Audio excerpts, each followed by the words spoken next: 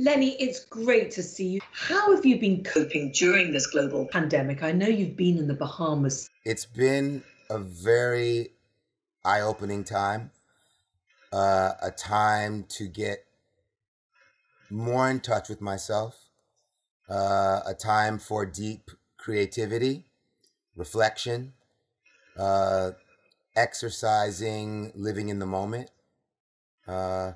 It's been it's been really wonderful. Uh, I'm sorry that it's at the expense of people's health, people's lives.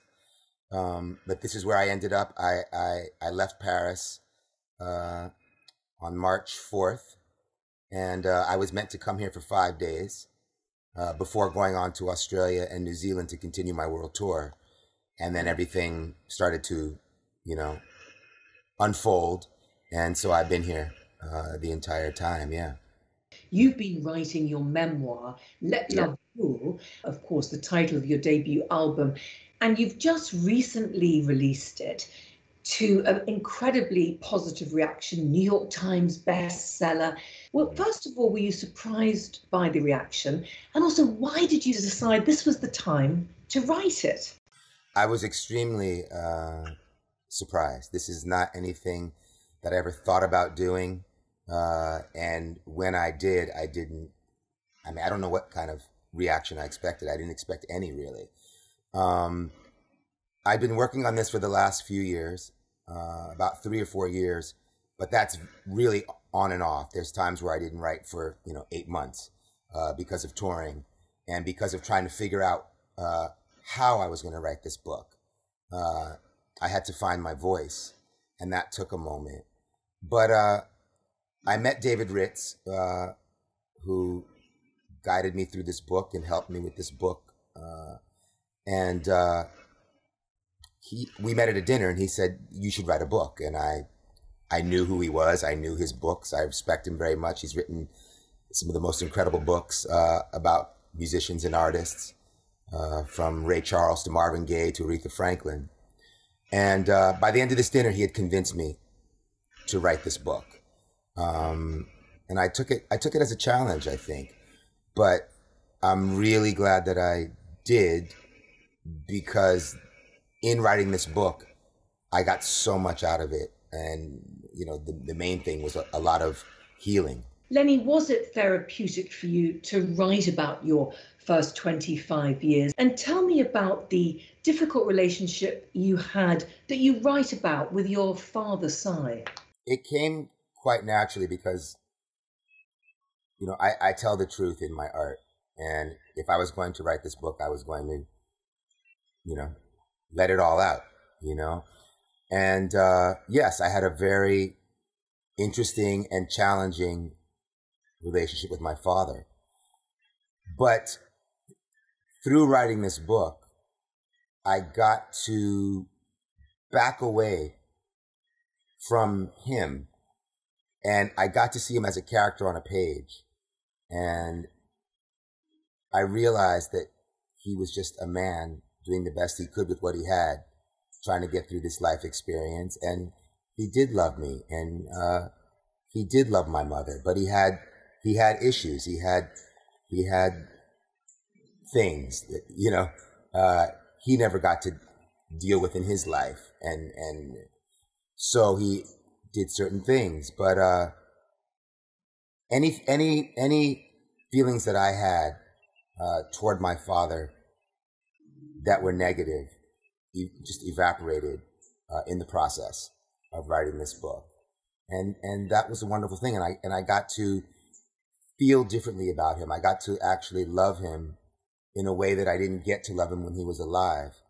Uh, through writing this book, I, I, I got I got a deeper understanding of this man's character.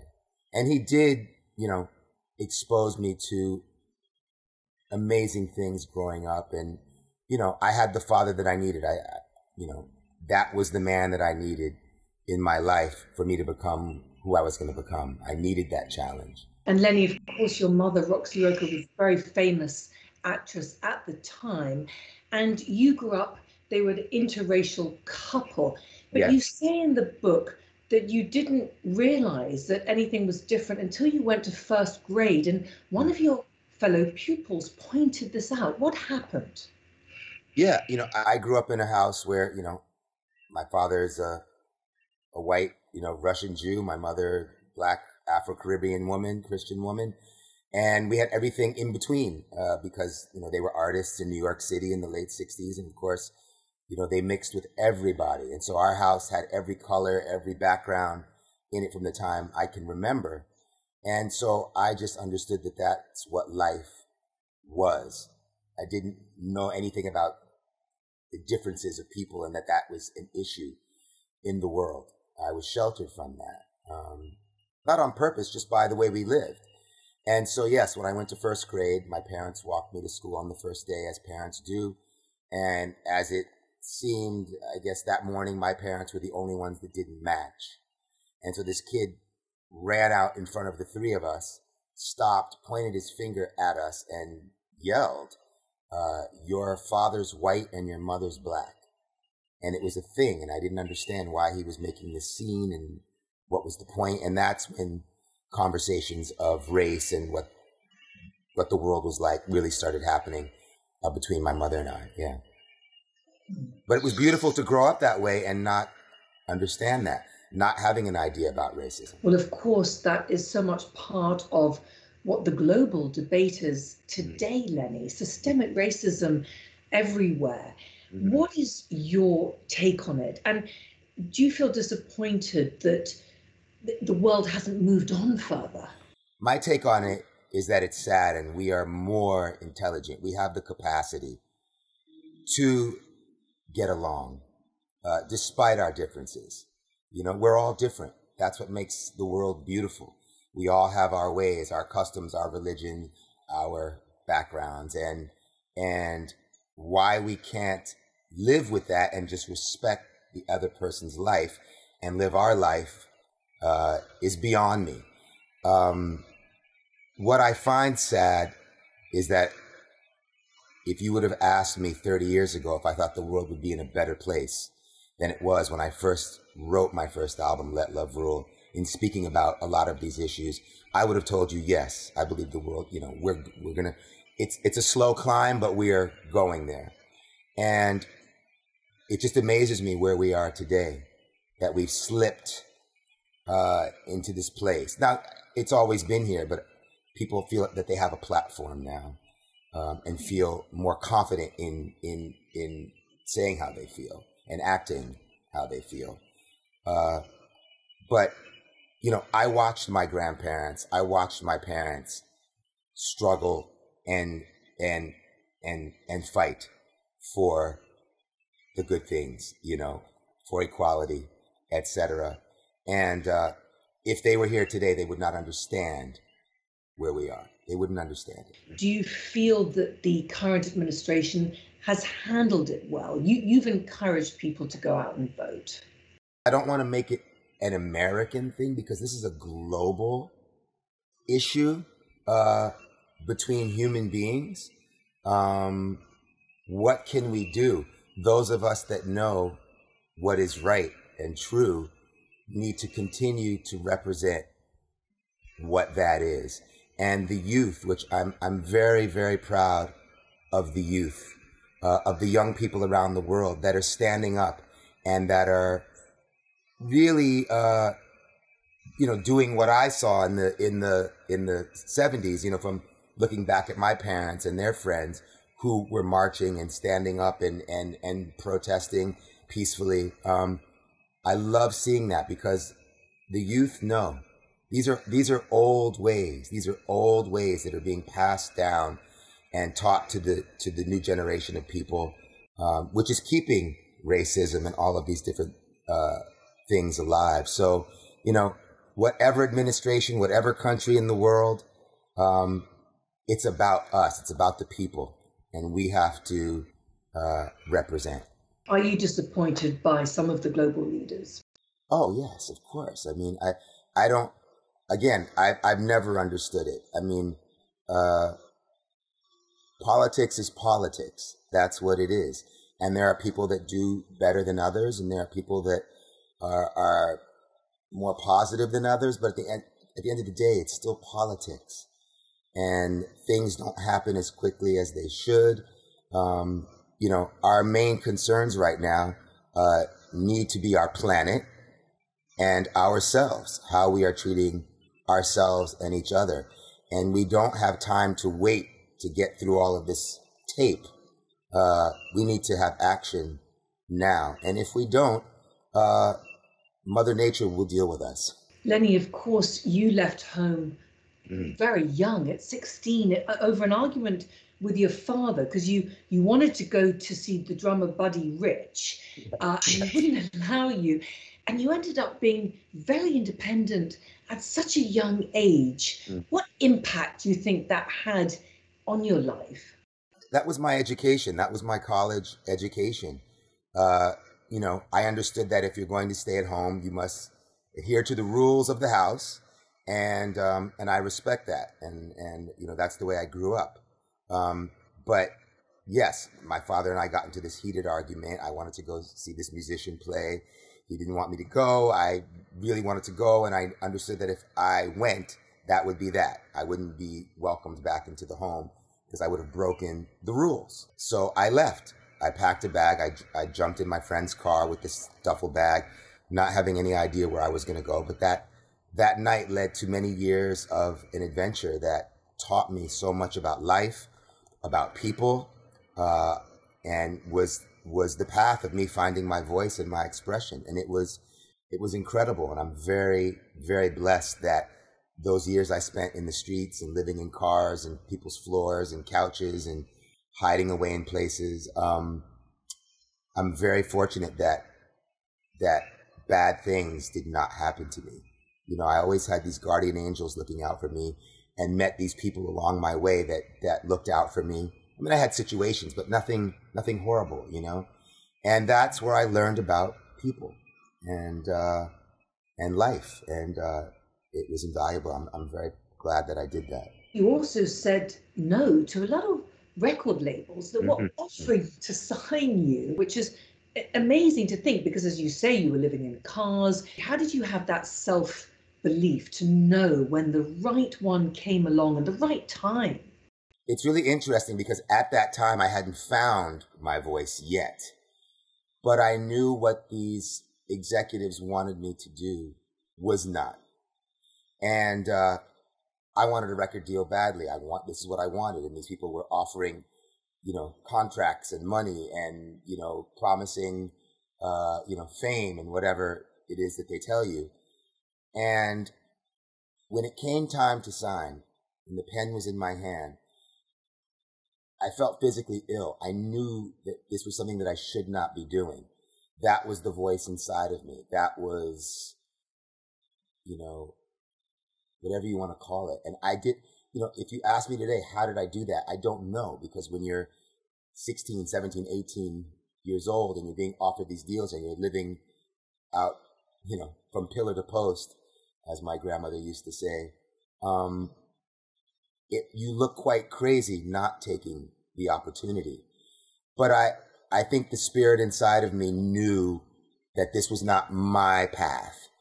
And, uh, it's quite amazing that I was able to do that. Uh, and uh, when I did find my way years later, I understood why it all came together. Had I have taken those deals then, um, I don't believe that I'd be sitting here speaking with you. My life would have gone in another direction.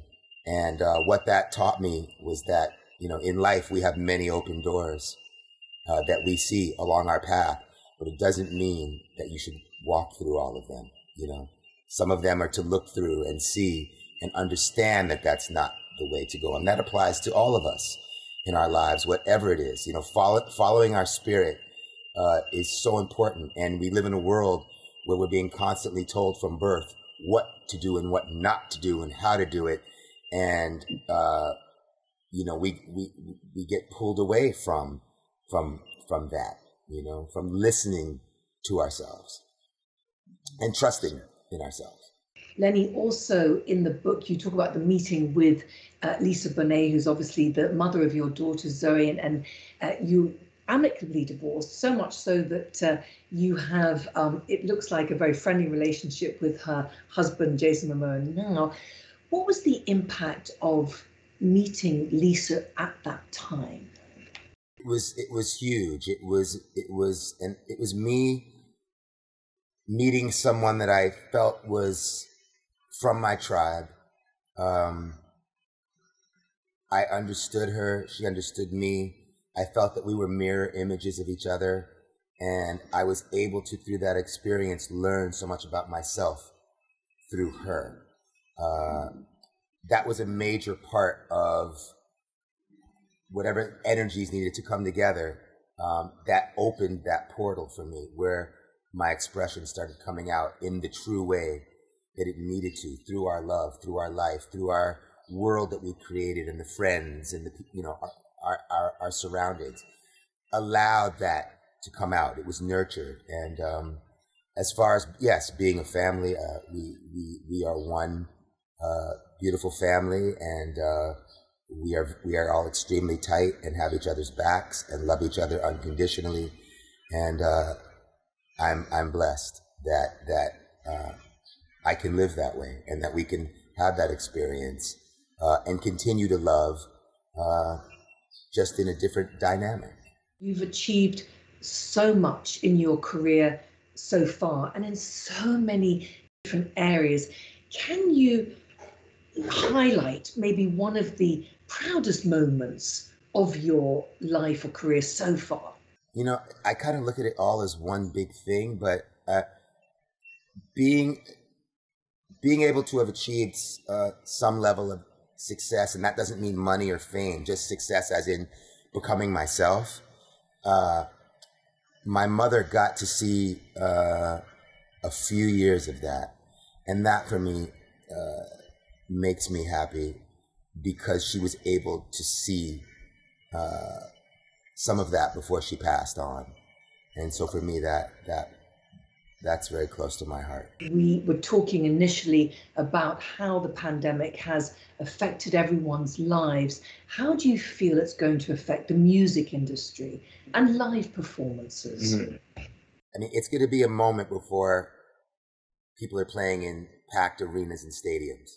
You know, you see people trying to do smaller gigs, uh, socially distanced, you know, um, and that's, that's a good start and but that's not what a concert experience is. A concert experience for me in my concerts is, you know, 20, 30, 50, 100,000 people, whatever it may be, coming together, uh, smashed up against each other, feeling each other, um, you know, riding this wave of music and love and unity. And it's going to be it's going to be a while before we have that again. So, you know, how else are we going to do it? I don't know. I mean, we're doing all kinds of things now through the computer, obviously. Uh, it's completely different. um, but uh, for me, the thing is just to, to stay creative. I'm recording a lot right now. And hopefully in the next, you know, year or two, when, when we can return to that, uh, I'll have lots of new material and uh, I'll be ready. I, I miss it very much. And finally, at the end of the book, it says mm-hmm. to be continued. Are you thinking about the second one? And what message do you want everyone to take away from Let Love Rule, your memoir? I'm thinking about the second book. Yes, I, I, I need I need to take a breath, uh, but it's something that I'm thinking about. I wasn't sure that I would, uh, even though I said to be continued. But uh, I, I think it's something that I will tackle for the for the sheer reason uh, you know, of continued understanding and healing uh, in my life. I, it, writing these, writing this book was the greatest form of therapy I've ever had. You know, and I think that would be really great to have for this next chapter uh, in my life where things became quite difficult um, and amazing. Um, and as far as uh, taking away, you know, a message from the book. I mean, I think it's really about uh, someone finding their their purpose and having the the the vision and the confidence to to stay on course. And that I think that's the most one of the most important things for all of us to do to become who God intended us to become. Whatever our gifts are, whatever that is, you know, we I believe we all have uh, unique gifts and a purpose. We just have to stay on course. Well, Lenny, thank you so much for joining me today. I hope to see you in the Bahamas again soon. I had an amazing time with you last time. Well, I hope so too. I can't wait to get there again. Thank you so much, Lenny.